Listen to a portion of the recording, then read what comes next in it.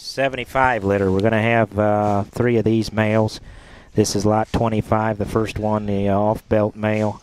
These are monies on, back on uh, My Intention, the king.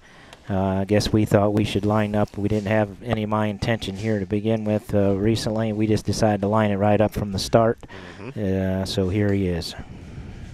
Yeah, the first thing I wrote down was feed. Uh, You know, this one here just looks like he's one just just take him along and, and feed how you want to. That one's uh, uh, skeletal correctness and, and greenness is really good. I mean, that one's skull and head carriage and elevation up front. Uh, good angles off of both ends. Man, watch that one reach and go. He flexes his spine and, and levels out in his hip and reaches behind his tail head the way he needs to in a very green kind of a muscle pattern and very uh, feedable kind of a deal. And, and again, this is a this is a young, tiny one on pounds, and I mean right on through the fall. Just calculate that and where you need to be. That's that's a fun one. That's This a thing's fun one. dead level. Yes. like Yes. dead level. I mean, when you go across there and great shape at top and big legs and limbs underneath him, and again, put him on the feed bucket, guys. I mean, he's young. He's it's a good litter when you see all the other ones. Um, Yeah, Andy just went stomping into the back there like a mad mother.